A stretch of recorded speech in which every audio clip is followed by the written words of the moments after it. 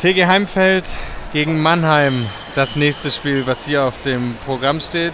Und ich freue mich, dass Felix Reus weiterhin neben mir sitzt und mit uns dieses Spiel oder jedenfalls die erste Halbzeit, bevor es für euch weitergeht, anschaut, kommentiert.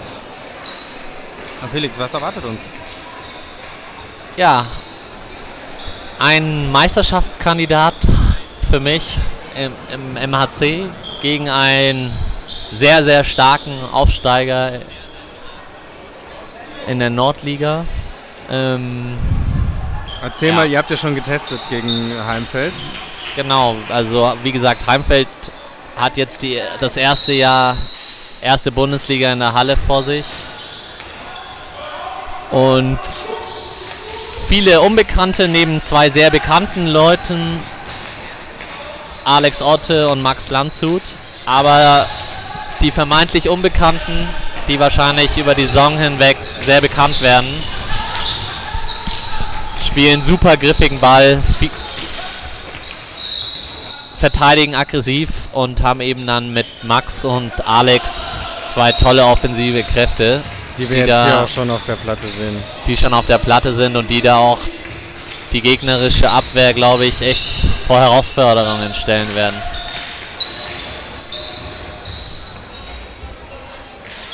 Und Mannheim natürlich als klassisches Südteam So ein Brettleger-Team oder? Ja, weiß ich gar nicht so genau. Auf jeden Fall können sie das auch. Wie gesagt, jedes Top-Team kann mittlerweile Bretter legen, meiner Meinung nach. Aber halt total eingespielt. Und, und dann eben sehr viel individuelle Klasse hier. Auch mit Paul Smisloni ist das. Und Pat Harris, der auch ein ausgewiesener Hallenspezialist ist ja, die werden auf jeden Fall eine große Rolle ums Viertelfinale spielen und letztendlich dann auch um die Final Four Plätze, also West 2. Ich gehe mal davon aus, dass MAC Süd 1 wird und Ja. dann treffen die auf Westen, auf dem Westen Mülheim, Köln. und das wird ein toll, wird schon tolle, könnte ein vorweggenommenes Halbfinale oder Finale sein auf jeden Fall. Ja. Ja. So haben wir ein weiteres Ergebnis aus der äh, Gruppe A. Das sind die Damen. Flottbeck schlägt Armin, die Arminen aus Wien mit 3 zu 1.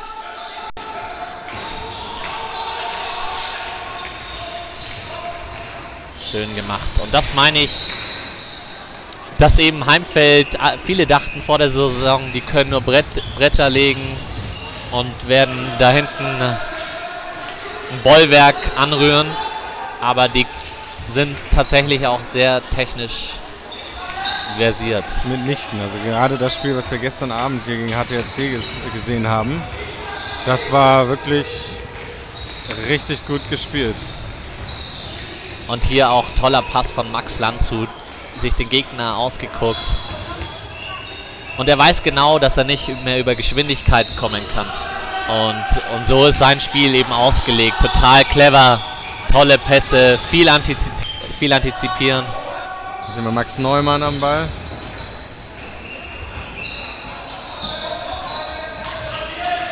Der ehemalige Hamburger. vom URC.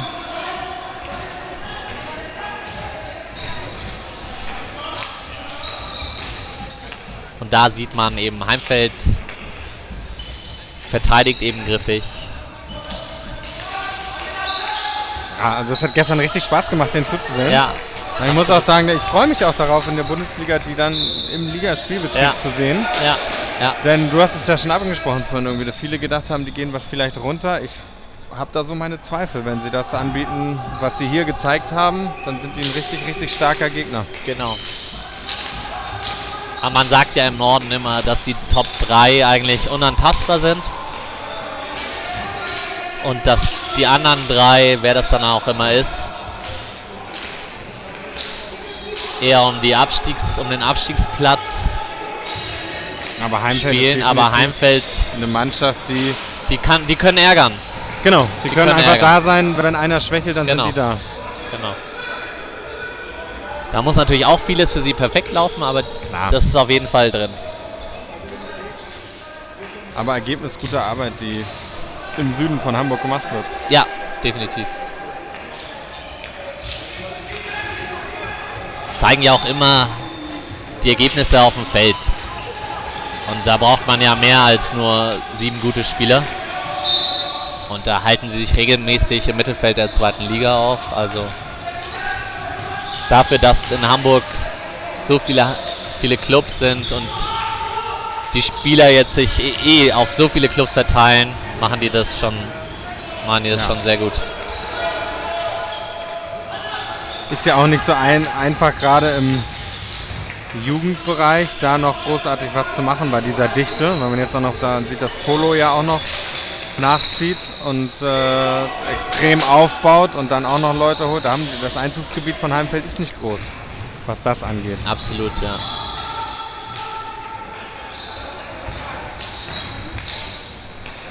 Und gerade wenn du auch mal als Jugendlicher irgendwie auf einer deutschen Meisterschaft oder deutschen Zwischenrunde spielen willst, dann bleibst du in der Regel nicht bei Heimfeld, sondern dann, dann wechselt man eben zu den, ja. Sage ich mal, Big Four in der Jugend, würde ich, würd ich mal sagen. Dazu zähle ich eben noch Flottbeck dazu, die auch eine sehr gute Jugendarbeit in der Regel machen. Wo sich andere Top-Clubs theoretisch was abschneiden könnten.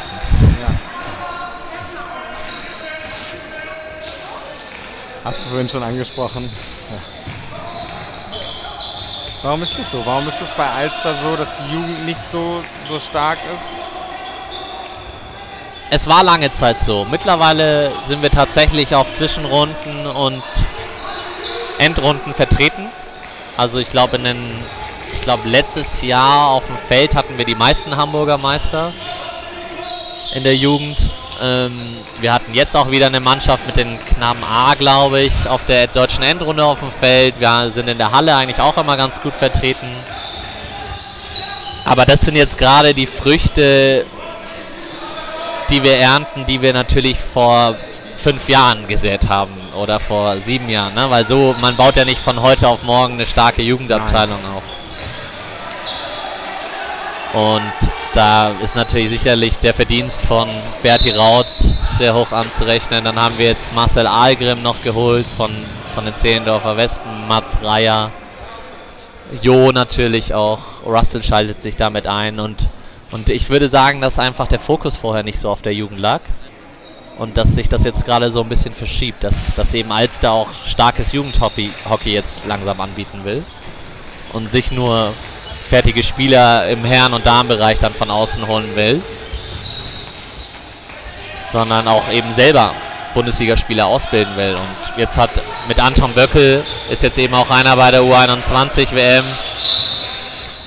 der hier groß geworden ist. Und ja,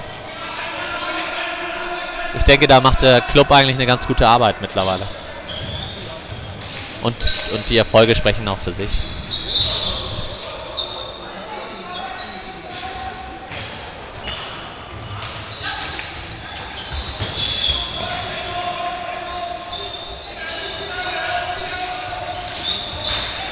Das schön gespielt. schön gespielt. Toll gespielt. Mannheim sicherlich ein Club, der noch in einer anderen Liga spielt, als finanziell gesehen, als die anderen, anderen Vereine. Denke ich auch, ja. Das sieht man ja an der Verpflichtung von Gonzalo Peya. Macht den es dir Spaß, gegen den Ecken zu halten? Total, ja, klar. Wenn du sie hältst? Total. klar. Wie viel hast du in der Hinrunde gehalten gegen ihn? Ähm, glaube so zwei oder drei. Und wie viel hat er getroffen? Ich glaube eine. Duell gewonnen. Duell gewonnen dank meiner Rausläufer. weil die, weil die äh, das Tor sehr klein gemacht haben. Auch wirklich, wir hatten da mit Steibi eine ganz tolle erste Welle. Der, glaube ich, sich drei einfach mit dem Schläger abholt, zwei abfälscht und die dann eben schön haltbar waren für mich.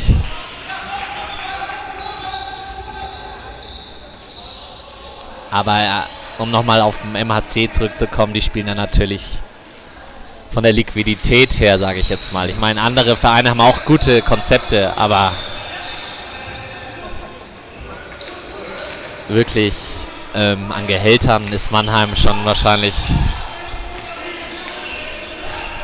als Club eine Liga über den anderen. Zumindest das, was ich von außen beurteilen kann. Ne? Klar. Lass uns mal auf das Spiel gucken. Heimfeld macht das gut. Immer Wieder. noch 0-0. Ne? Genau. Alex Otto draußen verletzt, wird gerade behandelt. Hoffentlich kann er weiterspielen. Wäre schade, wenn er sich wieder verletzt hat. Total, ja.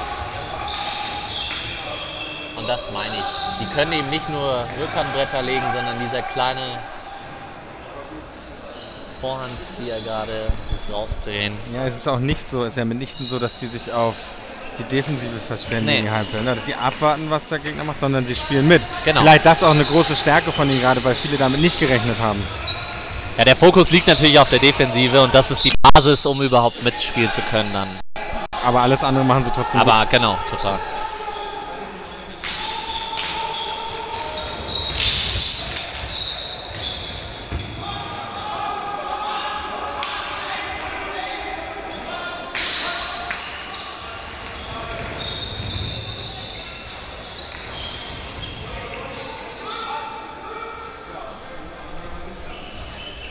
So, Danny Nguyen jetzt.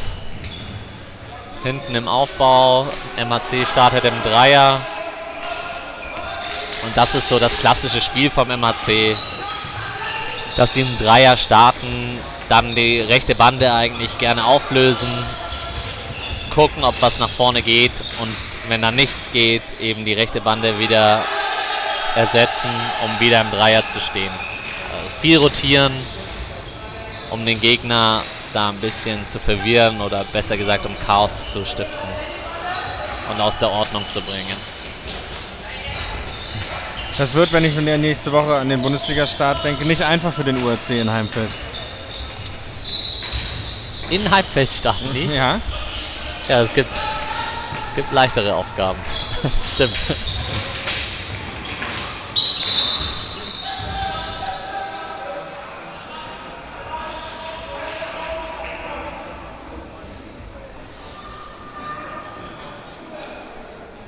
Am nächsten Samstag 16 Uhr.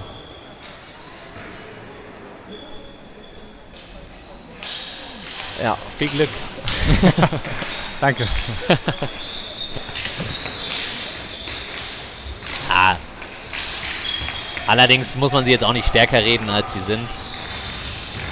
Die sind sehr ernst zu nehmen, aber UAC ist natürlich da individuell nochmal besser besetzt. Ja, aber gerade am Anfang der Saison, wo Klar. Heimfeld noch bei Kräften ist, trotz dieser intensiven Vorbereitungsphase, ist Klar. Ja, es wird definitiv kein leichtes kein, Spiel. kein leichtes Spiel, überhaupt nicht. Und beim URC habe ich auch manchmal das Gefühl, die wissen selber noch nicht genau, was sie alles wirklich können und wo sie stehen. Das stimmt, ja, den, Das haben wir gestern auch so ein bisschen gesehen. den Eindruck kann man gewinnen.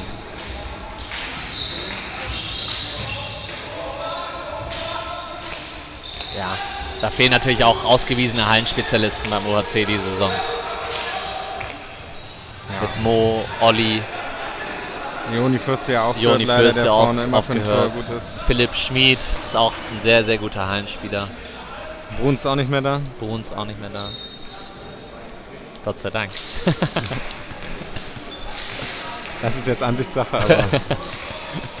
Nein, haben wir hier schon in zwei Spielen gesehen. Sensationeller Hallenspieler. Spielt einen tollen Ball, absolut. Absolut. Ja. Also, Ganz schwierig zu verteidigen.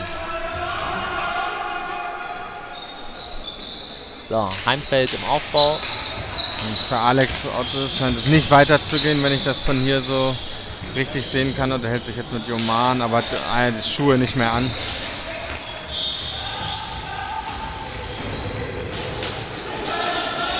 Ja, es wäre schade. Volk- Hoffentlich Wenn man hier ist vorne sieht man im Bild. Volker Fried in Ja. Blau an der Pfeife. Die alten Recken pfeifen Ja. hier das, leiten hier das Turnier. Aber souverän, muss man sagen. Ja, aber auch schön Es irgendwie, wird- dass sie. Es wird wenig Schuhe- gemeckert ne, von den Spielern. Ist aber auch, dass er auch sagen muss, ein teilweise hartes Spiel, aber fair. Absolut. Ich habe jetzt ja. noch kein, keine richtig unfaire Aktion gesehen. Auch das ist schon. Ist aber natürlich auch der Charakter eines Vorbereitungsturniers. Ja, aber es muss ja auch von allen mitgetragen Ja. werden. Ne?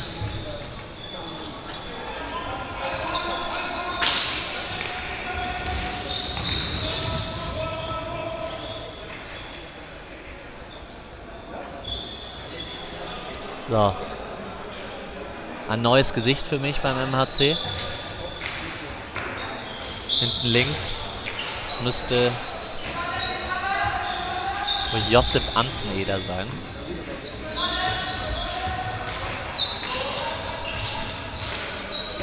So, und wieder Ma Heimfeld verdichtet schön, schön die Mitte. Ne? Es ist schwierig für MHC da, da die Lücken zu finden. Ja. ja. Alex Otte zieht sich um. Schade. Ja, hoffentlich nichts Ernstes. Hoffentlich nicht. Ist, äh, irgendwas am linken Fuß gewesen. Aber für Ferndiagnosen haben, sind wir Legen wir uns da. mal fest. Ja, genau. Syndesmosebandriss. Ja. Nein, hoffentlich nichts Schlimmes. hoffentlich kann er dann wieder eingreifen.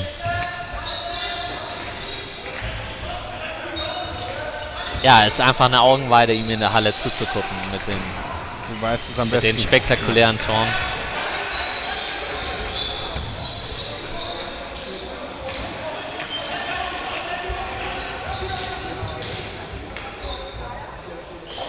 So, und wieder. Selbst wenn Mannheim dann mal ein bisschen Unordnung gestiftet hat, Heimfeld wird sich da schnell wieder sortiert. Unglaublich diszipliniert. Da, da nimmt sich keiner Auszeiten.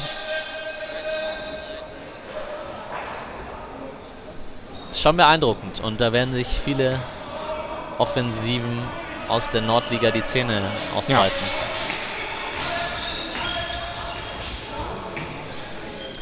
Da wird sicherlich, sicherlich interessant in den Spielen gegen Hannover und Clipper. Ja.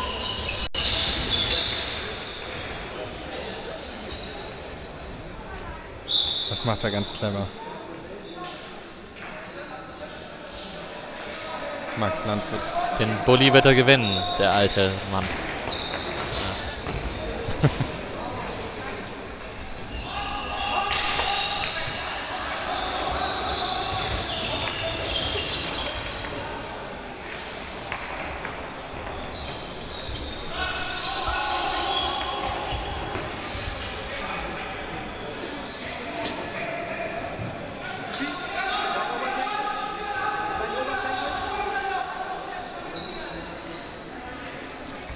So. Mannheim jetzt offensiv. Dem Platz der Kragen. Schönes Oh! Tor. Sehr schön. Richtig schönes Tor. Und da sehen Gewartet, wir bis der 1-0 für Torwart liegt. Und dann den Ball schön drüber gelupft mit der Rückhand. Für meine Begriffe ein bisschen zu leicht. Hast du gesehen, wer es war? Die Nummer 11. Das ist äh, Maximilian Bond. Aber das muss man auch mal machen ne, aus der Ecke Sehr dann. schön, ja. Aber interessant zu sehen, Mannheim merkt, okay, wir kommen im Spielaufbau nicht vors Tor, ne? wollen dann draufgehen, um den Ball gar nicht irgendwie im Aufbau zu haben, sondern irgendwo schon in der gegnerischen Hälfte abzufangen, um dann irgendwie zu, zu Torschancen zu kommen. Und Heimfeld nutzt es dann knallhart aus. Gleich mit dem ersten Ball nach vorne gekommen. Und gut die Chance genutzt. So ein bisschen auch wie gestern, dass sie lange gut mitspielen führen. Gestern haben sie auch 2 1 zur Halbzeit geführt. Und dann muss man mal gucken, wie gehen sie dann um ab. Das ist das, was du vorhin gesagt hast. Ab Minute 40, 50 und Mhm. dann gucken, was ab Minute 50, 60 passiert. Ja. Ähm, die Frage, gestern hat HTRC halt irgendwann das Tempo einfach unfassbar erhöht. Äh, unfassbar nicht, aber es war eh schon hoch, aber erhöht. Und dann ist die Frage, was Mannheim nachher macht und wie Heimfeld damit umgehen kann. Genau. Ja, aber so wie es mir aussieht, spielt Heimfeld schon mit der kompletten Truppe, oder? Also Mit der was? mit der kompletten Truppe. Also es ist jetzt nicht so, dass sie da nur mit sieben Leuten spielen. Nee, das war gestern auch so. Das ist Also, halt äh, durch die Bank weg da sieht stark. man auch eine gute Breite im Kader. ne? ja. Und das wird ihm, ihnen, glaube ich, im Duell mit oder in den Duellen mit Clipper und Hannover zugutekommen. ja, glaube ich auch. Wobei ich jetzt beide nicht gesehen habe. ich auch nicht, aber Clipper auch. Äh, Vorbereitungsspiel hatte gegen URC, ich glaube 6-3 verloren. Und Clipper natürlich noch ein bisschen auch wahrscheinlich darunter leidet, dass da auch fast viele aufgehört haben, schon Ja. vor der Feldsaison. genau. Aber Ja, das werden interessante Duelle. absolut.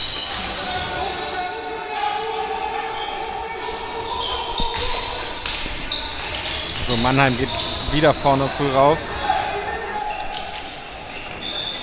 Als ob sie es erzwingen wollen jetzt. Ja. Wollen sie wahrscheinlich auch. Ja, ihnen fällt kein probates Mittel gegen die gute Defensive von Heimfeld ein. Und dann wollen sie eben die Bälle weiter vorne gewinnen, um dann so zu Chancen zu kommen. Aber auch hier wieder Heimfeld spielt das ganz, ganz ruhig runter, lassen sich da nicht unter Druck setzen. Finden immer wieder Lösungen, wie sie sich aus dem Pressing an den Banden befreien können. Und spielen mit eben, ne? Und jetzt wieder gedoppelt an der Bande. Und dann ist da einfach kein Durchkommen. Zumindest, wenn man es nicht schnell genug spielt. Und das meine ich. Oh, das ist das ist dieser Gratisball, Ja, ähm, der einem dann geschenkt wird. Ne? den wir vorhin angesprochen haben bei, Bei der der, langen Ecke. langen Eckenregelung. ist natürlich auch Böse Schiedsrichter hätten gespielt. da eine Ecke Genau, aber clever gespielt von Max Landshut. Der weiß ganz genau, ich spiele ihn so, er kann ihn nicht kriegen, aber es sieht auch nicht so aus wie Absicht. Genau, Erfahrung. absolut.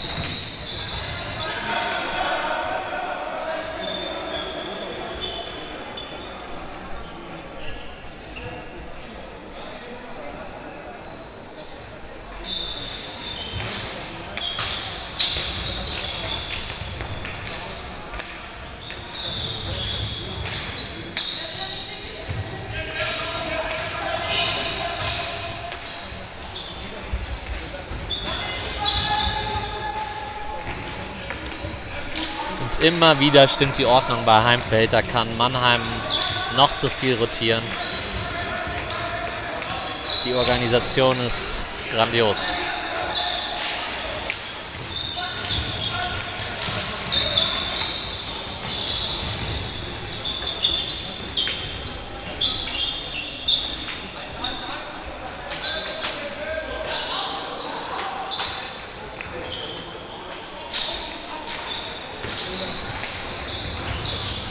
Ja, ich lehne mich mal aus dem Fenster. Einer der Top 3 wird über Heimfeld stolpern. Einmal. Ich glaube, das ist gar nicht aus dem Fenster gelehnt. Ich glaube auch. Man darf In gespannt Heimfeld sein, wen es erwischen wird. Das ja, kann ich nicht. Keine Ahnung. Das aber kann keiner vorher sagen. Nee, aber, ich in der- glaube tatsächlich auch, dass sie wie so ein bisschen auf Flottbeck bei den Damen irgendwie, die auch dann da sind, wenn einer schwächelt oder da sein können, dass Heimfeld eine Mannschaft ist, die entscheidend, dass, entscheidend sein kann, wer ins Playoff kommt und wer nicht. 1-1.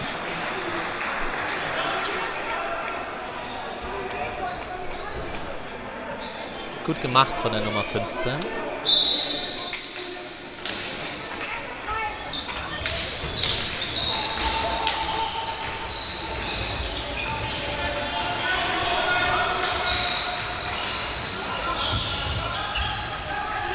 Schön wieder durchgesetzt hier. Und oh, Oh. tolle Parade. Richtig gut gehalten. Aber auch wieder Aber richtig toll gespielt von Heimfeld. Da nimmt einer sein Herz in die Hand, setzt sich gegen zwei Leute in der Hallenmitte durch. Und dann spielen sie es einfach gut aus und kommen so zu einem freien Torschuss, aber natürlich auch Weltklasse gehalten von dem Torwart. Ja, solche Fehler dürfen dir natürlich nicht passieren. Nee. hatten sie Glück, dass Heimfeld das nicht ausnutzt.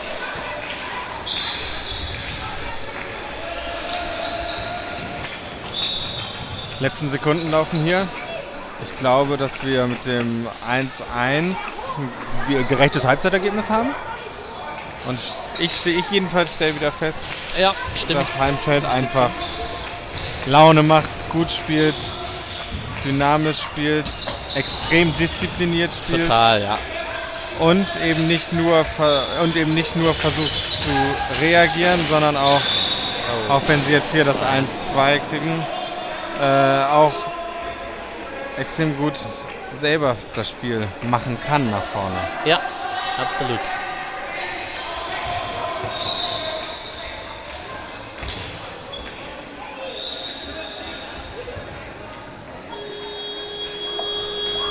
Das war's, die erste Halbzeit.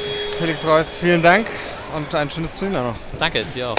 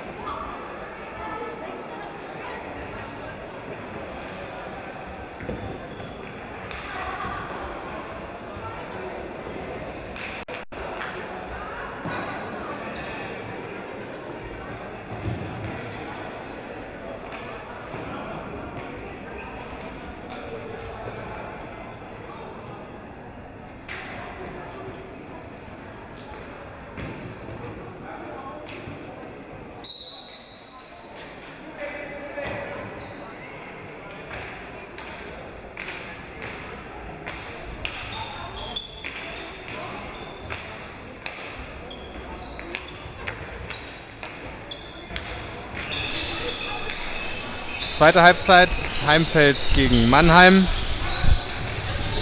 Mannheim führt 2-1 aufgrund von zwei Toren kurz vor der Halbzeit. Heimfeld macht es sehr gut bis hierhin. Felix Reuss war bis eben hier, jetzt ist Franziska Hauke hier. Hallo. Hallo. Schön, dass du uns hilfst. Sehr gerne. Lass uns doch am Anfang einmal über euer Spiel eben sprechen. Ja. Da war ne, wäre meine Frage gewesen, warum so lange mit sechs Feldspielern? Ähm, ja, ich glaube, dass man das vielleicht den Trainer mal fragen muss. Ich habe mich das auch kurz gefragt, aber wir müssen es halt irgendwann auch mal testen. Also und ich glaube, da war Leverkusen ein ganz guter Gegner, weil die haben es echt gut gemacht und haben uns das Leben dann schwer gemacht. Und ähm, Tomek hat irgendwann auf der Bank gesagt, als unser Torwart unbedingt wieder rein wollte, hat er gesagt, nee, jetzt müssen wir jetzt nochmal weiter üben und jetzt müssen sie da durch. Und dann haben wir auch ein bisschen die Kurve gekriegt. Ja. Der Torwart hat, glaube ich, nach jedem Gegentor gefragt. Also jedenfalls ja, ist da so von ja, hier so aus. Kann ich rein, kann ich rein, kann ich rein, ja. War das auch so, dass ihr das gemacht habt, weil ihr gestern gegen äh, UAC hinten raus noch drei bekommen habt? Nee, ich glaube nicht. Ich glaube, das eine Spiel hatte mit dem anderen gar nichts zu tun. Das war einfach, wir haben ganz viele verschiedene Sachen heute getestet. Und das ist halt ein Gegner, gegen den wir wahrscheinlich diese Saison gar nicht kommen werden. Und da kann man das auch einfach mal testen. Also klassisches Testspiel einfach, genau. um das auszuprobieren. Ja. So, jetzt sehen wir eine Ecke für Heimfeld. Ja.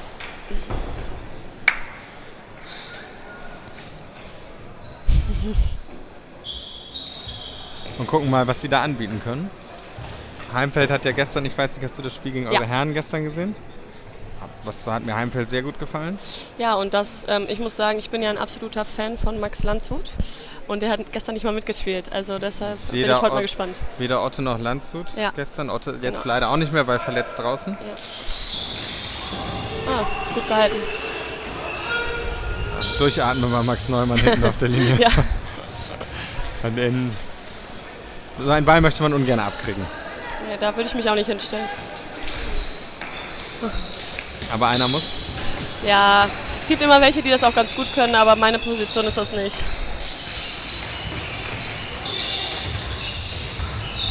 Wie siehst du äh, die Vorbereitung äh, für euch?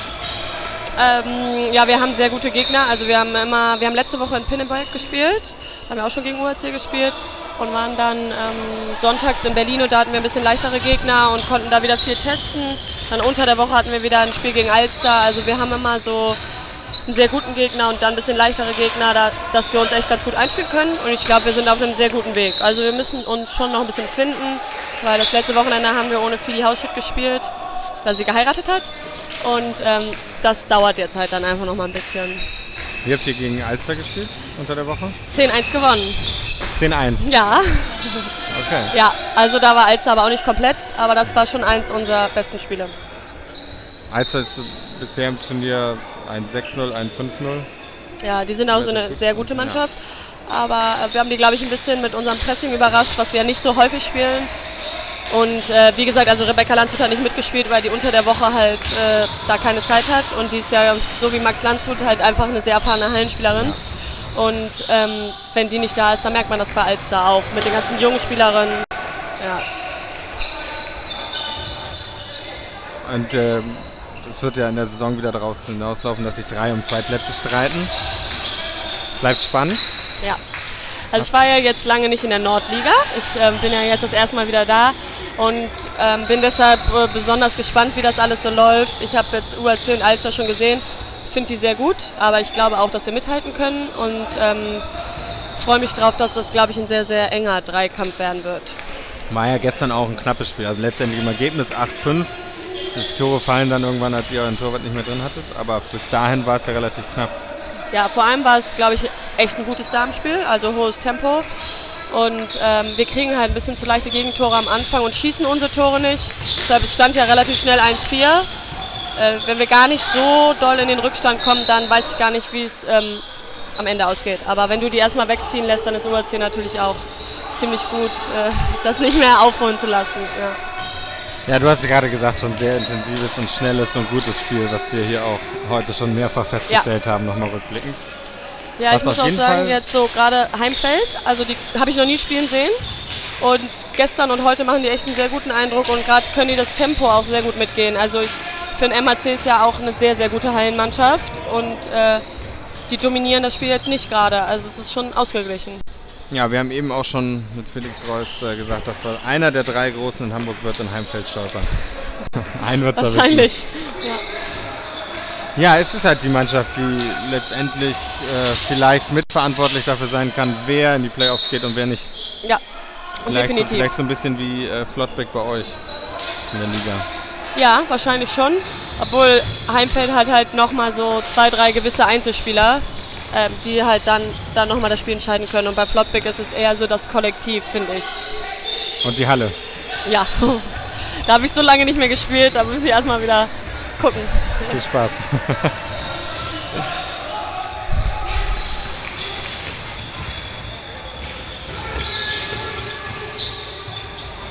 Muss mal gucken, wie. Also der Heimfeld hat es gestern auch gut gemacht, auch zur Halbzeit ja geführt gegen HTRC und dann irgendwann ab Minute 40, 50, beziehungsweise in der, jetzt ja nicht 40, 50, aber sonst wird es ja so in der Saison sein.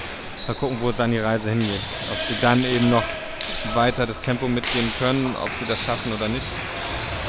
Ja, obwohl ich sagen muss, das ist auf jeden Fall eine Mannschaft, die ähm, die Großen irgendwie an den Rand der Nerven bringen kann. Also ich habe ein bisschen zugeguckt und ich meine, mein Bruder ist ja sowieso schnell reizbar, aber ähm, der hatte nach gestern 5, 6 funktioniert. Minuten einfach gar Ja, keinen Bock ja. mehr. Und das ist, glaube ich, so ein bisschen der Schlüssel zum Erfolg von Heimfeld, dass die da ähm, dann von profitieren und die haben auch ganz gute Stürmer vorne und dann geht's los. Ja, Und sind halt unglaublich dis diszipliniert. genau.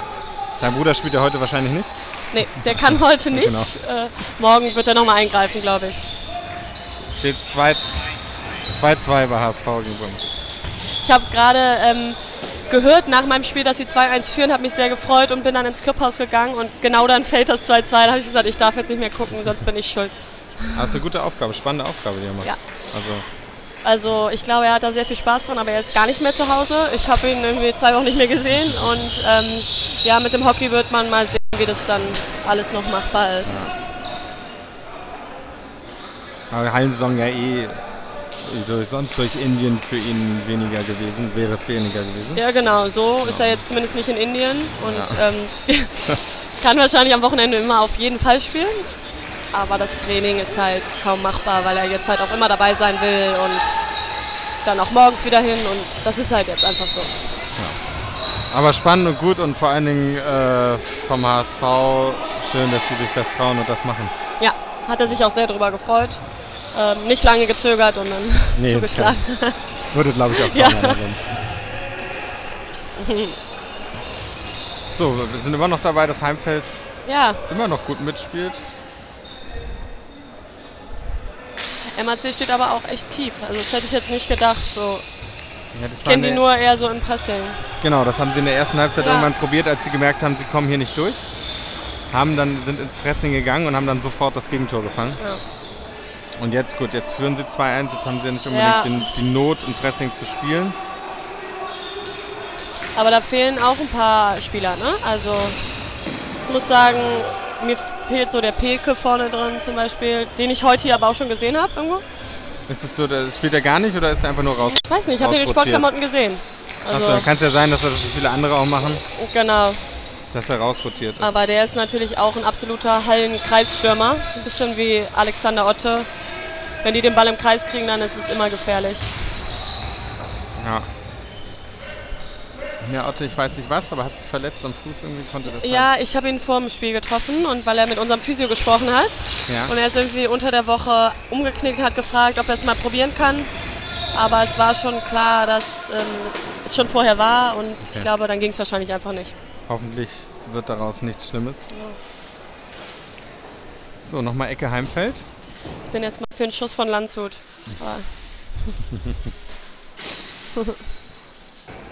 Nee, wird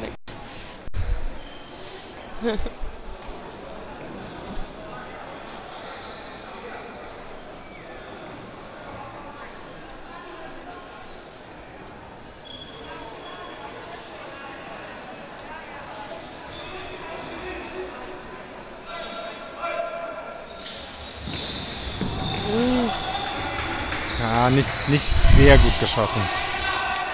Nee, wenig platziert und von rechts würde ich ja auch einfach bei den Herren sagen, ist jede Ablage drin. Und ich glaube, das wäre jetzt auch wieder gegangen. Aber das ist, also wenn man die Ecken bei euren Herren sieht, die ja unglaublich durchgetaktet sind und schnell und präzise und einfach passen, das ist, Ja, da stimmt der das Ablauf ist da noch eine einfach. andere Liga. Also Ja. einfach noch Aber da steht natürlich mit Michi Körper auch ein Schütze, der das einfach kann. der gestern auch wieder zwei Tore aus dem Nichts macht.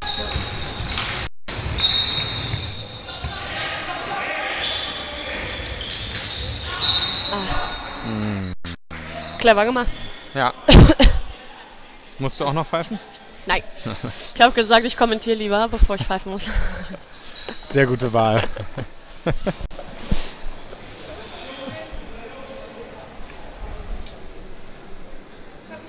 so.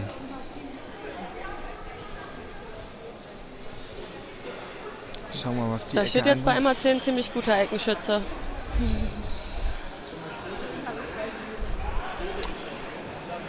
Patrick. Hablerwitz. Kurze Ecke oben würde ich tippen jetzt. Max Neumann wird sie reingeben. Oh, Uh, oh nicht ganz. mit der Rückhand auf der Linie dann den Nachschuss noch geholt. Respekt.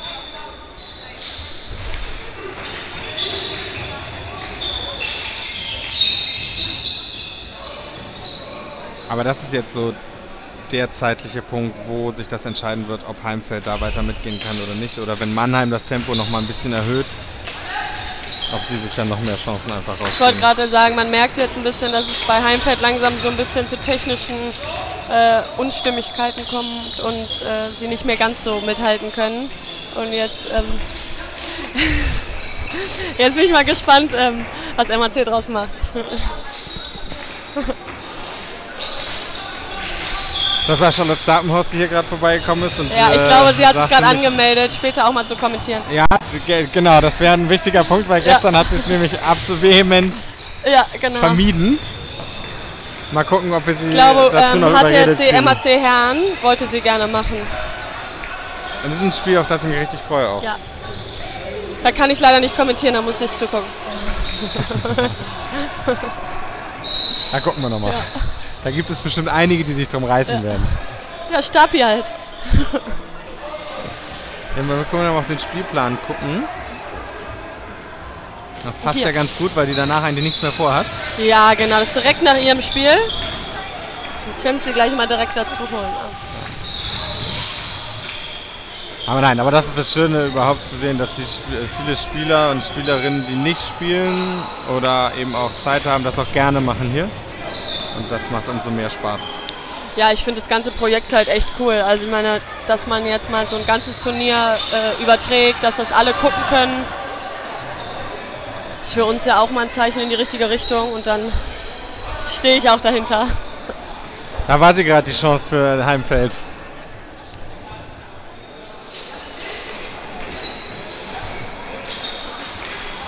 Was wäre es gewesen, das 2-2?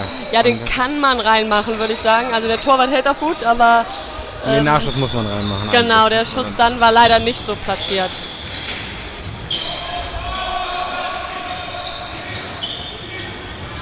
Aber den kann man auch reinmachen.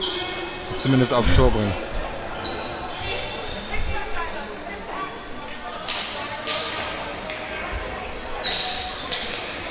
Das wäre das, was wir schon gesagt haben. Also ich glaube, dass Heimfeld wirklich wenig Gegentore kassieren wird. Also so ein 1-2 ist ja wirklich eigentlich kein typisches Hallenergebnis. Aber äh, die verteidigen echt gut. Also Nee, aber es ist halt irgendwie auch so ein Trend, den wir so gerade schon festgestellt haben, dass beim Herrenhockey einfach auf weniger Tore fallen als noch vor zwei, drei Jahren. Obwohl, also aber ich habe gestern Alster UAC gesehen. 6-3. Gut. Ja, Aber das ist Aber 1-2 gerade. ja, das sind wirklich Wien also, verliert zweimal 3-2 heute. Okay. Also ich habe leider in den letzten Damen Jahren, gewinnt 12-3, ihr gewinnt 8-5. ja, aber ich habe in den letzten Jahren viel, also wirklich viel Westliga geguckt und da sind gerade bei den Herren wahnsinnig viele Okay. Tore gefallen. Also da gehen Spieler 13-12 und 12-10 aus 13-12. und so, ja, Okay, das ist natürlich aus Zuschauersicht extrem gut. ja. Aber da wird auch nicht so viel Wert aufs Verteidigen gelegt. Schön zu gucken, aber für die Trainer, glaube ich, nicht so cool. Sind auch drei Punkte am Ende.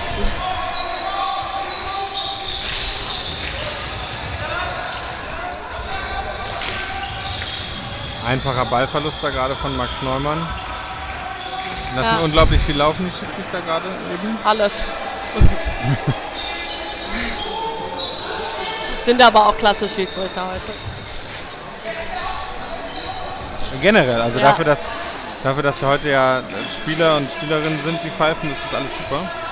Ja, ich Und, muss auch äh, sagen, also als ich gehört habe, dass wir pfeifen müssen, fand ich es auch nicht so cool.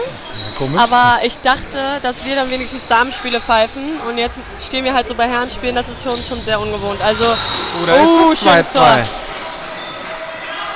Also die Schönheit der Tore in diesem Spiel geht auf jeden Fall an Heimfeld. ja, Das erste Tor mit der kleinen Rückhand rübergehoben. Nein, also die Schiedsrichter machen das richtig gut. Ja. Aber ist schon, also so HTC, MHC Herren nachher ist für eine, für eine Damenspielerin nicht so schön zu pfeifen. Nee, Also, ich bin froh, dass ich danach spiele und deshalb nicht pfeifen muss, aber vielleicht möchte Stapi dann doch lieber kommentieren, bevor sie pfeifen muss. wenn sie pfeifen muss. Also. UAC muss auf jeden Fall Ja, ja, das pfeifen. stimmt. UAC und Leverkusen.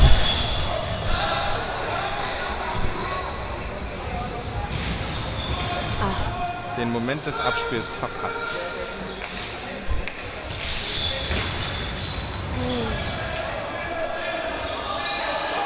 Und den, im kompletten Block wechselt Heimfeld.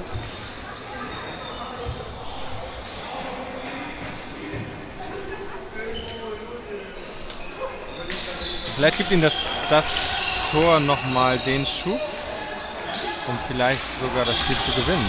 Ja, ich meine, sie haben die Druckphase von MAC echt gut überstanden und schießen sogar in der Phase ihr Tor. Von daher können sie jetzt wirklich selbstbewusst die letzten acht Minuten spielen, finde ich.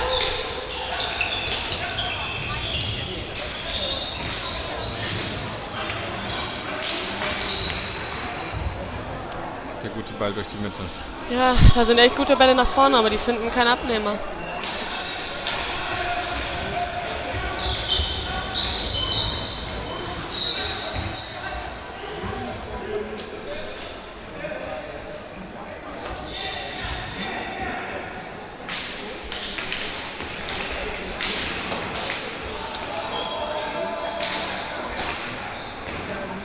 Heimfeld ja heute Abend nochmal um 20 Uhr ungefähr im letzten Spiel gegen den BHC.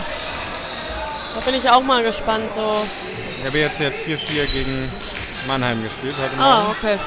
Ja, BHC habe ich noch gar nicht gesehen. Also wir waren ja letzte Woche in Berlin, aber da hat BHC nicht gespielt. Aber die Ostliga ist ja auch immer noch mal ein anderes Hockey als Ja, so stimmt. die anderen Ligen. da wird es wahrscheinlich um BHC, Blau-Weiß und TuS gehen, die sich da um die zwei Plätze streiten. Obwohl, also letztes Jahr waren ja BHC und Blau-Weiß auch schon punktgleich. Und ich habe Blau-Weiß letztes Jahr, äh, letzte Woche gesehen. Und die haben HTC auch geschlagen. Finde ich wirklich eine sehr gute Hallenmannschaft. Die haben auch, was sie hier heute gezeigt haben, Ja. Die haben echt viele gute Hallenspieler, sind eingespielt. Ich bin mal gespannt. Ein bisschen, sch- ein bisschen chancenschwach vorne, also in der Auswertung gewesen. Es haben sich viele Kennen erspielt. viele erspielt, aber halt nicht halt zu wenig reingemacht. Viel zu wenig. Kommt noch.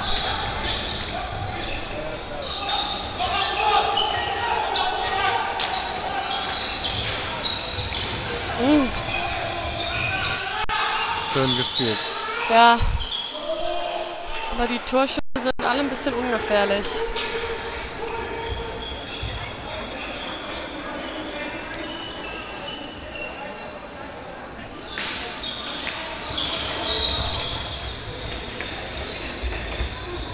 Hast du die BAC Damen heute schon gesehen? Nee, gar nicht. Wie haben die denn gespielt bisher? Gar nicht gut. Die haben gegen Leverkusen verloren. Und äh, knapp, also gegen Leverkusen knapp 4-3, aber Mhm. gegen UAC 12-3. Oh. Und äh, ist ja ein, ein möglicher Viertelfinalgegner. Wenn, wie auch immer das kommt. Ja. Aber also halt die Nordliga spielt gegen die Ostliga. Ja, wir haben letzte Woche gegen den wahrscheinlich anderen Viertelfinalgegner Tussli gespielt und haben auch 13-0 gewonnen oder so. Also es ist schon Also man weiß nie, wie es dann in der Liga wirklich ist, aber das ist schon ein bisschen anderes Hockey als im Norden, im Westen und im Süden, finde ich. Also Ja. Ja gut, klar, im Norden ist ja klassisch, dass du eh drei Teams hast, also diesen großen UAC als HTRC, die sich Im Westen ist das auch so. Also auch die letzten Jahre haben wir immer Düsseldorf, Mülheim, Rot-Weiß Köln. Genau. Und im. Süden hast du auch die beiden Mannheimer und MSC immer. Also sind eigentlich immer so wirklich drei starke Mannschaften. Und in Berlin gibt es eigentlich nur BHC. Und die leiden halt so ein bisschen dann unterm Niveau der ganzen Liga. Deshalb, ich bin mal gespannt, wir spielen ja gleich noch gegen die. Aber da spielt jetzt Roda Müller-Wieland auch, oder? Ich weiß nicht, ob sie jetzt schon spielt ja nicht, sie Ja. wollte auf jeden Fall. Hat sie mir nämlich erzählt, Genau. als, sie, äh, als ich mit ihr das Ich habe das auch noch von Hähnchen mitbekommen und ähm, die wäre schon eine ziemliche Verstärkung für die, Genau. weil die schon eine sehr gute Hallenspielerin ist, finde ich. War jetzt noch verletzt und versucht jetzt gerade wieder ranzukommen, Ja. aber vielleicht ist sie ja irgendwie auch hier Ja, heute und dann kannst du ja mal fragen. dann werde ich sie auf dem Spielfeld sehen sonst auch.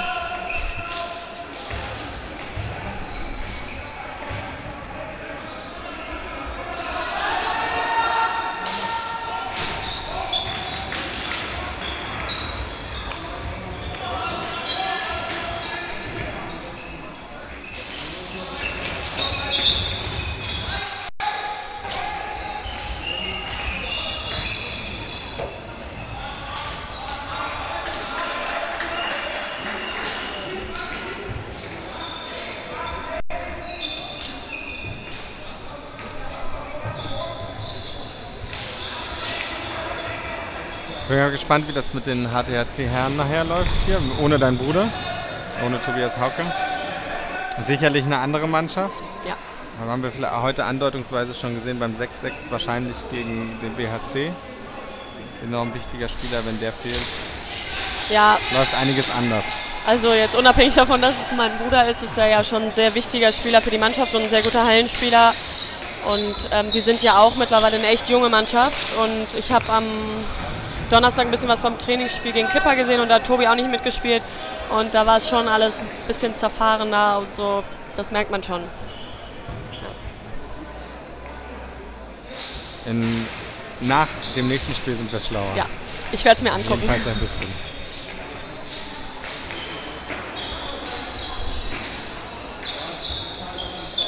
Mich wundert es jetzt zum Beispiel ein bisschen, dass keiner den Torwart rausnimmt. Also, man, wir haben es vielleicht ein bisschen zu lange gemacht, aber so bei einem 2-2, bei einem Turnier könnte man schon nochmal den Torwart rausnehmen. War das bei euch ja nicht sehr überraschend, dass Leverkusen dann gesagt hat, was die können, können wir auch, wir nehmen den Torwart auch raus? Ähm, mich hat es nicht überrascht, weil wir das bei Köln auch mal so gemacht haben. Also, weil dann spielst du wenigstens Gleichzahl und dann reagierst du da drauf. Aber ich glaube, dass einige von uns schon ein bisschen überrascht waren und äh, nach zwei Minuten geguckt haben, oh, jetzt ist ja Gleichzahl, was machen wir jetzt? Und äh, es war auf jeden Fall eine gute Maßnahme von Leverkusen. Ja, je nachdem, was die Ausrichtung ist. Ob es äh, halt Torwart rausnehmen heißt natürlich auf der einen Seite den Vorteil haben mit einem sechsten Feldspieler, auf der anderen Seite weißt du auch, wenn du einen Konter kriegst, ist der in der Regel drin. Ja, auf jeden Fall. Aber ähm, wie gesagt, wie ich eben schon gesagt habe, man muss das auch mal irgendwann testen und Hallenhockey hat auch immer ein bisschen was mit Mut zu tun und das muss man sich dann auch einfach mal trauen und nicht davon ausgehen, oh, wenn einer durchgeht, dann fällt direkt ein Tor, sondern ähm, einfach hoffen, dass man viele Bälle abfängt, weil man einer, einen mehr hat. Ja. Oder ist es halt eventuell auch so, dass Heimfeld mit dem 2-2 halt gefühlt als Gewinner vom Platz geht? Und Mannheim sich sagen muss, so, wir haben gegen eine richtig starke Mannschaft 2-2 gespielt, war aber nicht das, was wir ursprünglich wollten. Genau, also deshalb, wie gesagt, ich hätte jetzt auch nicht erwartet, dass Heimfeld den Torwart rausnimmt, Ja, aber ja. von MHC hätte ich das schon gedacht. Die letzten Sekunden laufen. In, in der ersten Halbzeit war es halt so, dass Mannheim jetzt genau die beiden Stiche Okay. gesetzt hat. Oder jetzt das 2-1 gemacht hat. Aber Heimfeld steht jetzt sehr tief, sehr gut. Du bist gerade dabei, ein Fazit zu fassen. Mach es doch. Wenn Ja. sich das Spiel dem Ende neigt.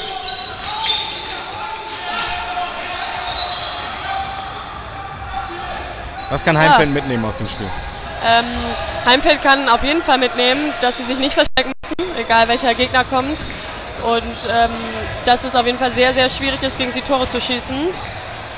Und ja, ich glaube, das ist schon mal sehr wichtig in der Nordliga, vor UAC, Alster, HTC keine Angst zu haben, sondern sich auf die Spiele zu freuen. Sehr Ja, gut. da wäre fast noch das Tor Ja. gefallen. 2-2 aber ich sagen, bin sehr begeistert von Heimfeld, haben sie gut gemacht. Franziska vielen Dank, Sehr gerne. dass du mitgemacht hast. Es gibt ja noch das HTHC Mannheim spielen. Kannst Ja, es dir das gucke ich von überlegen. der Ansonsten- Tribüne. Ja. Vielen Dank und like UHC Leverkusen.